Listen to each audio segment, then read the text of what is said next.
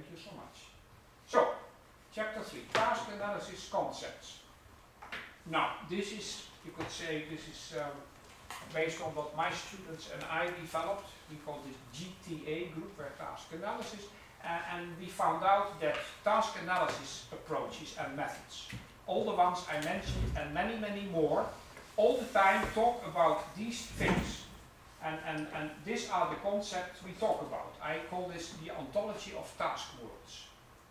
And if you are ever discussing or reading or looking at an approach on user-centered task design, you will always find that it's about tasks, it's about agents, it's about roles, it's about objects, and it's about events. These are the five different concepts, concepts that you need and that are sufficient to describe any task world from the point of view of the different users and stakeholders. Yeah?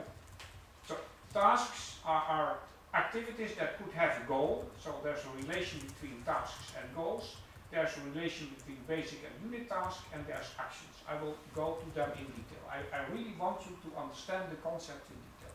And the same is for agents and roles which are related, and objects and events. So let me go into detail here. Tasks. Let me consider this a definition. Each task has a goal. A task is an activity and the goal is a stage to reach. I could go to a coffee shop no, not in the Netherlands, not a coffee shop. In the Netherlands, I would go to a cafe in order to buy coffee, right? In Italy, I go to a coffee shop to buy coffee, but in Amsterdam, it's considered funny. So, anyhow, so I have a task, but I perform this task in order to reach a certain sta state. I, I need to upgrade my caffeine level, right?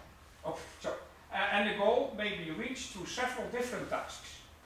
I could actually ask somebody to get me a coffee. or I could make one myself if I have the machine. Right? So, its definition. If it has not a goal, then I won't label it a task anymore. And by the way, this is just an agreement on, on words. If I use the word tasks, I mean an activity that is intended to reach a goal. Right? And, and some other uh, uh, uh, authors sometimes use a different word, but be aware right? So as long as in a task there's a something that is an activity and that is intended to reach a goal, then this is what I label a task.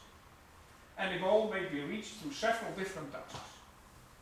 So normally a task has a single goal, a state, and, but there are different ways to reach that. Okay? Good.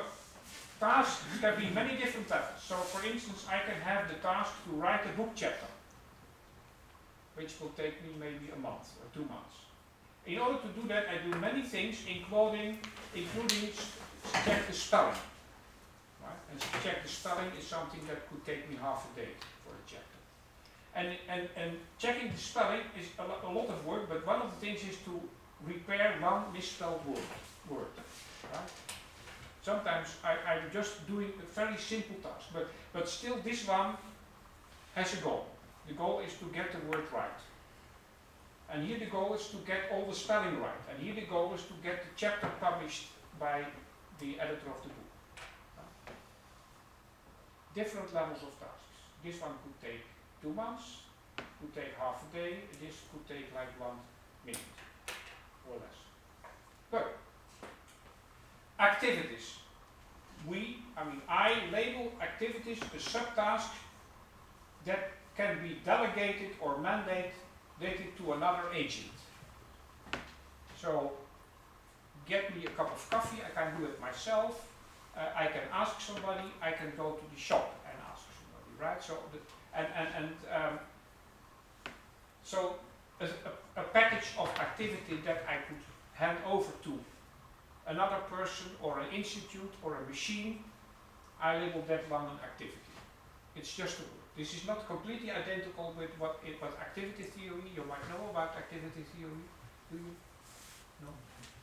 Okay. In human computer interaction, it's one of the theories. And, and uh, I mean, whatever word you use, there's a theory that uses the word in a different way. Sorry for that, right? So, just when I talk about, it's a package of things I can ask somebody else or can ask a machine to do. So when I, oh, I have this switch off my telephone, which is stupid. Hopefully it won't ring. But normally, if, if I have a telephone, one of the activities is to handle the telephone, the incoming calls. I can do this myself. I can delegate it to the secretariat, by the way, which is an institute, it could be five people. I, I could delegate it to one person, or I could delegate it to a machine, an answering machine, right? So, and, and so this, I call this an activity. Now, authors might mandate or delegate spell checking to a human colleague. Actually, in, in Amsterdam, I have a colleague who is very good in, in spell checking English. He can do this, I think, as quick or quicker than Microsoft Word can do that. So I can ask him, could you do it? But I could also use Microsoft Word. Right? So you can see, could be a human agent or a machine agent. Now, I talked about mandate and delegate. I am defining the words here, but if you go to the, to the, uh, the online dictionaries like Webster, you can find that.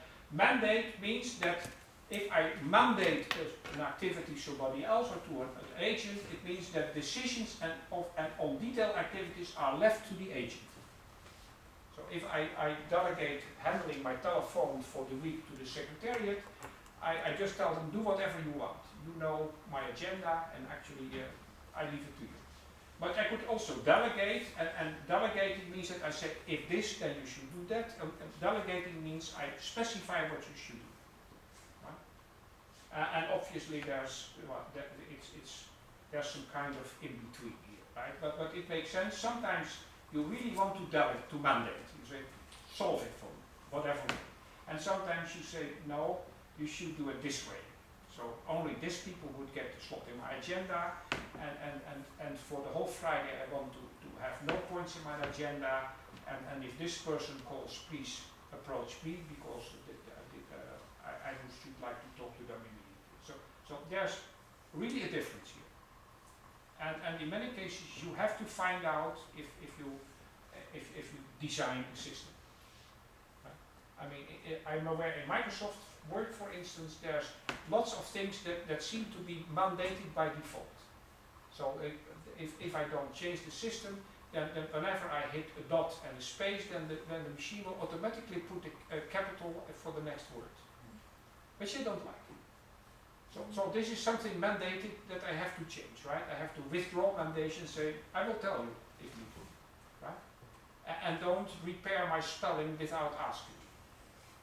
right? Okay. Another important concept and distinction is between primary and secondary tasks. A primary task is a task that I want to do myself. I, I'm interested in this task. It's generic for the domain. And, and a primary task is something that, whether there's technology or not, this is a primary task. Getting coffee five times a day is a primary task for me, otherwise I won't survive, right? So this, so this is a primary, but a secondary task is to make sure that there's enough coffee pads in the office for, for my, my uh, Philips machine, whatever it's called, right? So th this is, and, and, and this is based on the fact that I have this machine in my office and the machine requires a special type of coffee pads with, with, uh, with an amount of caffeine that I could put in and so on. But, but, but this task is completely based on the fact that I'm using this tool. So I call this a secondary task. Now, if you are redesigning a system, you should be very careful to consider changing a primary task, to removing it or whatever. But, but changing a secondary task, why not?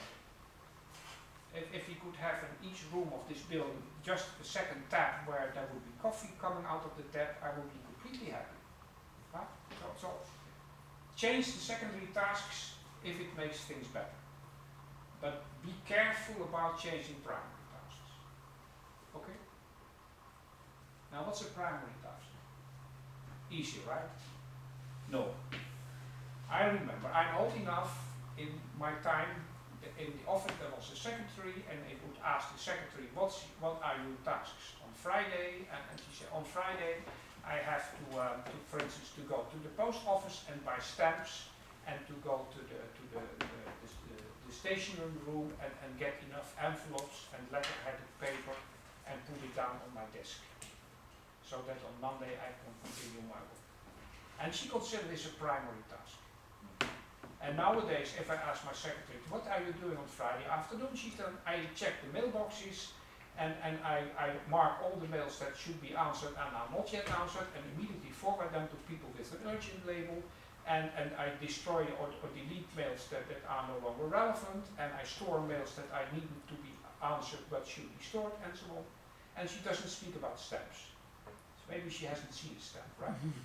so you see, so, so what, what is considered a primary task could be considered a primary task today.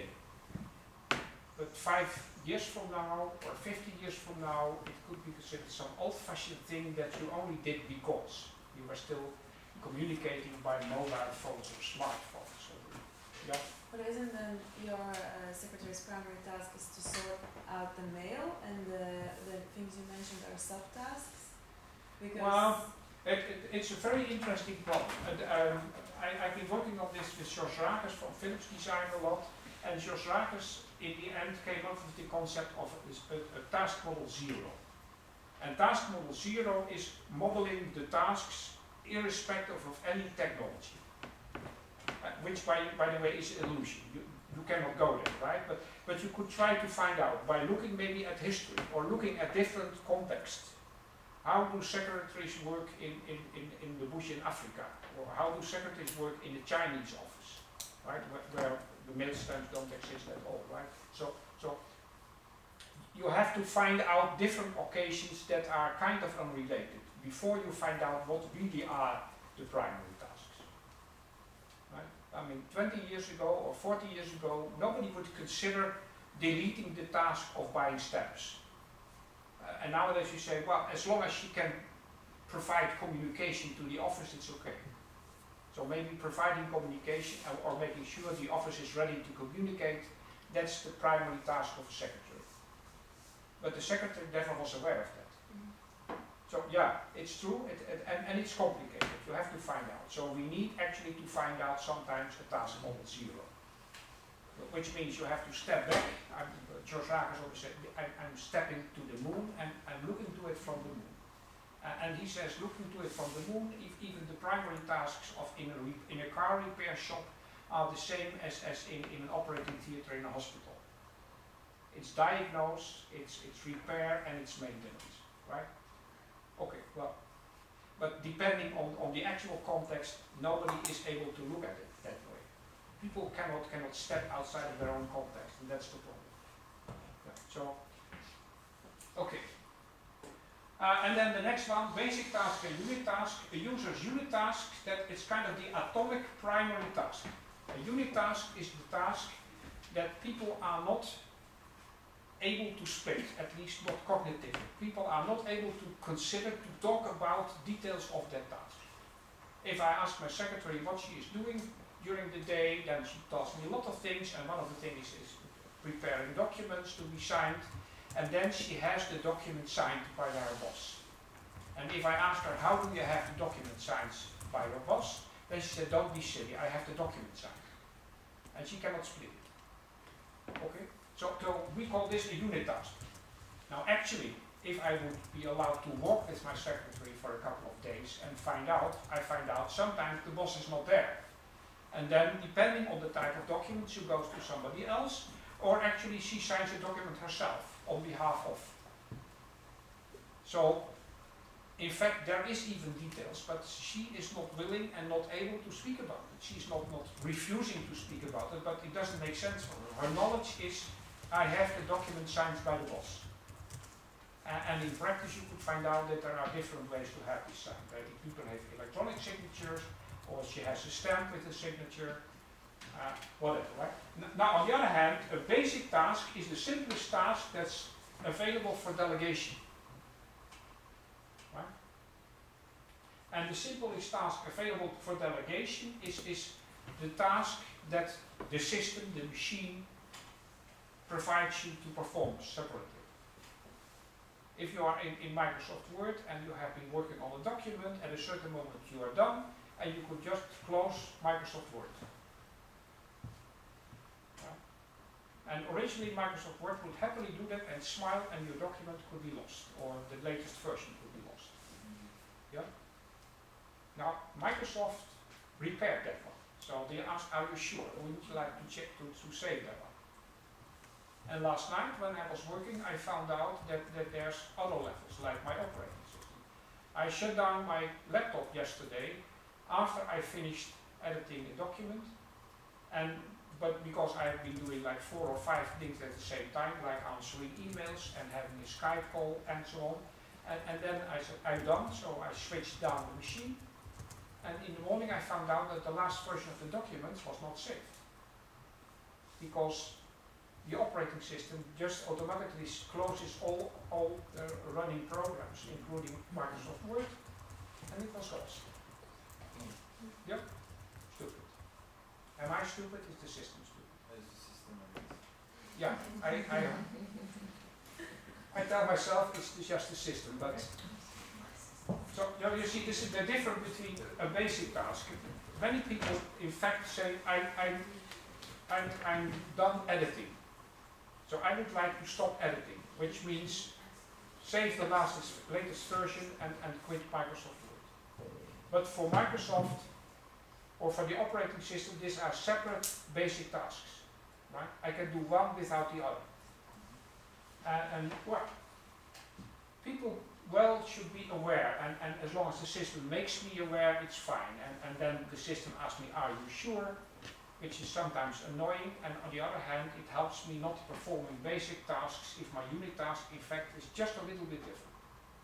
Okay? Actions.